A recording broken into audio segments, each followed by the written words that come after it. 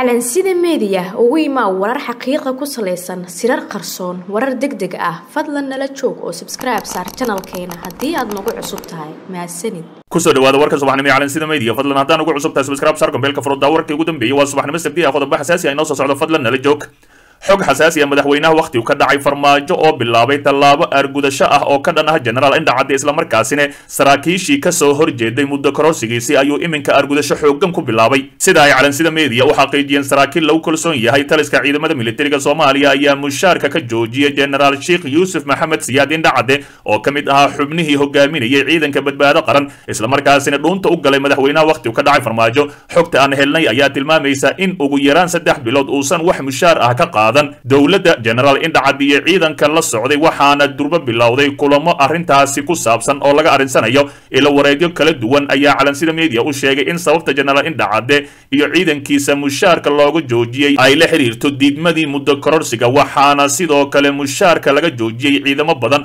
oo ka tirsan ilaalada jenaraalka iyo ciidan ka tirsan militariga balse markii ay xiisada bilaabatay ku soo biiray ilaalada cabdiraxmaan cabdishakuur warsame. Arrintan ayaa dhaawacaysa heshiiskii ay gaareen guddi ka socday ciidamada badbaado qaran iyo ra'iisul wasaaraha soomaaliya maxamed xuseen rooble kaasi oo dhigayay inaan laga aargudan karin. Ciidankii diiday muddo kororsiga madaxweynaha wakhtigu ka dhacay farmaajo ka soo horjeeday. Ciidamadii diidanaa muddo kororsiga kama wada sinna mushaar joojinta hase yeeshee. Waxaa laga joojiyey qaybo yar oo ciidankaasi ka tirsan kuwaasoo markii hore qaadan jiray. Ra'iisul wasaare rooble oo la filayo inuu ilaaliyo dhinaca dowladda ee heshiiska ayaa u muuqda inuu ku guul daraystay waxaana wararka aan helayno ay sheegayaan in awood uu ku dhex leeyahay dowladda ay ka yar tahay sida loo maleeyo islamarkaasina go'aanada badankooda ay ka yimaadaan. Madaxweynaha muddo xileedkiisa dhammaaday madaxa adag ee kursiga jecel kuna dhex jira villa soomaaliya bilaa sharci darrada. Si kastaba ha ahaatee rooble ayaana la ogeyn in uu tallaabo xoog leh qaadi doono maadaama iminka weli xoogan yahay madaxweynaha wakhtigu ka dhacay. Maxamed cabdilaahi farmaajo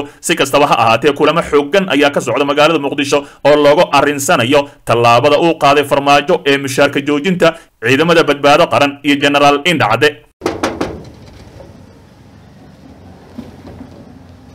booliiska degmada hodan ee aad degan tihiin waaye saldhiguu ka socoyaa xaafadda howlgalaa ka jirto ee wax dhibaato ah ma jiraan albaabka naga furo aana iswaraysanno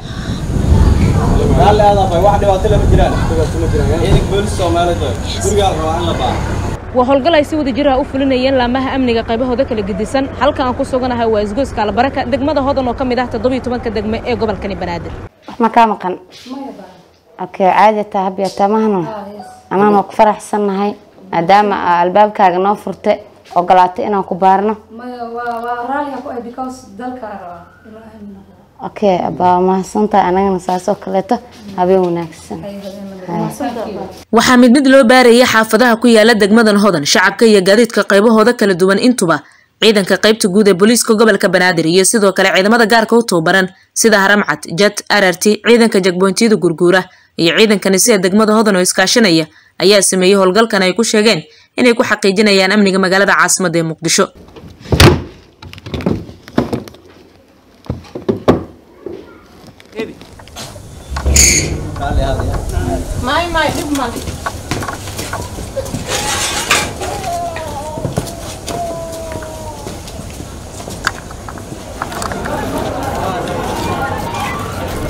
waa boqolaal dhalinyaraha kuwaasoo laga kala keenay guryihii ay ku jireen iyo goobahooda ganacsi la isuguna keenay isgoyskan albaraka islamarkaana dhankooda halkaas ayaa lagu baarayey yaasiin nuur khayra yaasiin ganey taliyaha qaybta weli oo cadde iyo bashiir cabdi siyaa taliyaha saldhigga booliiska degmada hodan ayaa horkacayay howlgalkan balse taliya yaasiin ganey dhalinyaradii goobtaasi ku sugneed ayuu la hadlay isagoona yidhi maya ma samaynaye wakhtiga shaqada ha la isku diyaar gareeyo aan samayno. Wakhtiga ugu badan oo aan samayn doonno oo weli aan ingugu celinayo waa baraarujin fadlan amniga inaad ka shaqayso oo aad wacdo nn si aan baraarujintaas u helno oo ay aad ula xidhiirto tuuggaas dadka dhacaaya ee dhibaatada u geysanaya adna aad u badbaadi karto qofkaas shacabkaa ee dhibka loo geysanayo. Laakiin intaad aragto inaad adna luuq intaa ku sii cararta istiraad sii carar war adiga berriya kugu imaanee haddaad maanta badbaaddo oo berriyaa ku badbaadinaya tuuggii adigaa qarsada soo maahan ha qarsan fadlan la xiriir ciidanka amniga ee nn been idiin sheegi ma hubi. Intaan falin ka fiirso. Waa mahadsantihiin kulaan idiin rajaynaa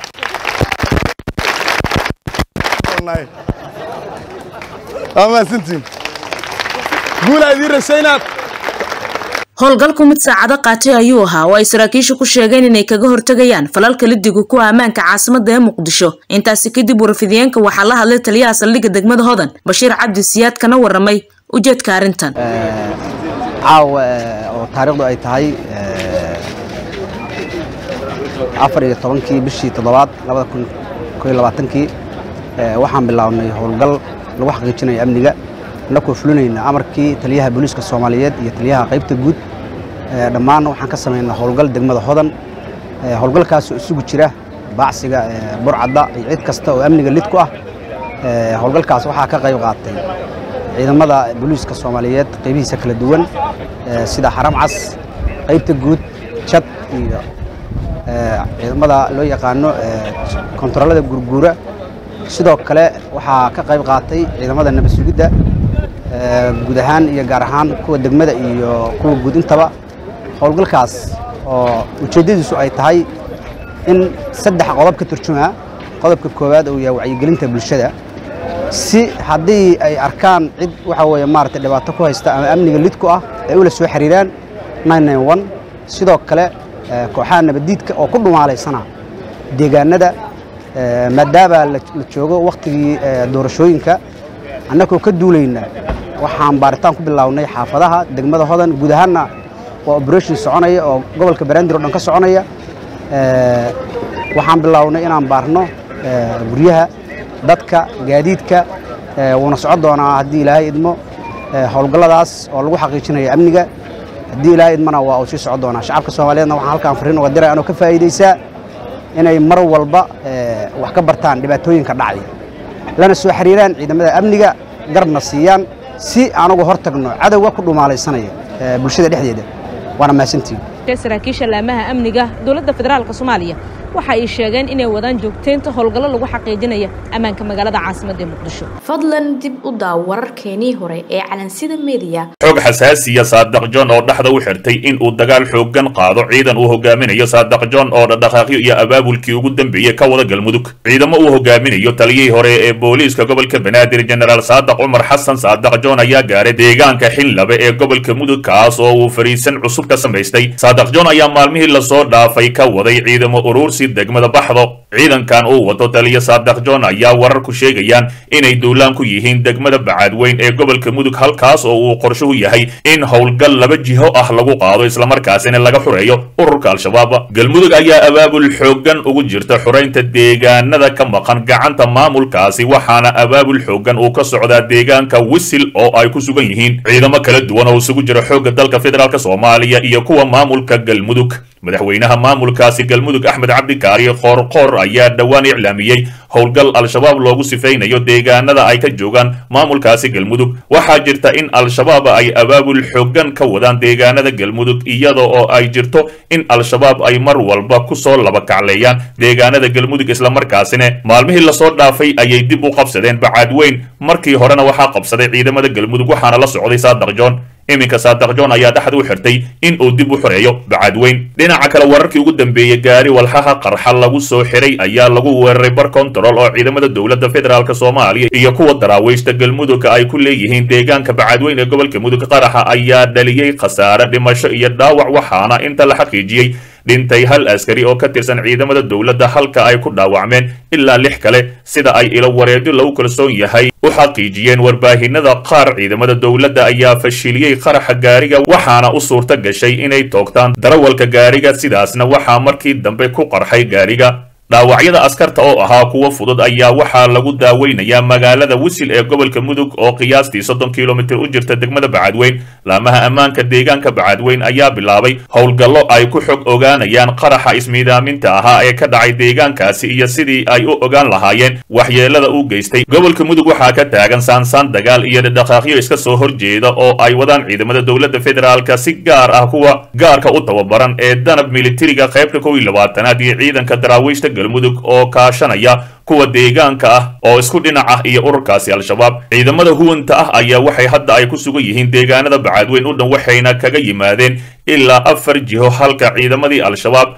ay isaga baxeen deegaankaasi. Wararka qaar sida ay sheegayaan si kastaba ha ahaatee saadaq john ayaa weerar xooggan ku ah deegaankaasi. Dhegaystow ogow haddaadan xalka qayb ka noqon waxaad qayb ka tahay dhibaatada dalka